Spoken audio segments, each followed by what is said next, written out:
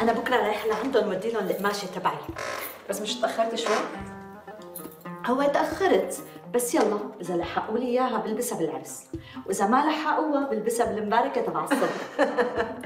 الله يبارك فيك يا خانم وتفرح بأولادك إن شاء الله. يي تسلمي بحياتك إن شاء الله. بدك نروح معك عند الخياطة؟ لا ليش تروحوا معي؟ يعني قلت منه بنسليكي ومنه بنشوف شو صارت خاصة خياطة لإلي يعني وبركي بستعجلها شوي. أه، لا. أنا مالي مطولة من وصلتي بدي اعطيهم القماشه وأرجع على بيتي. يلا الله ييسر الأمور تخلص لك هالفستان. آمين.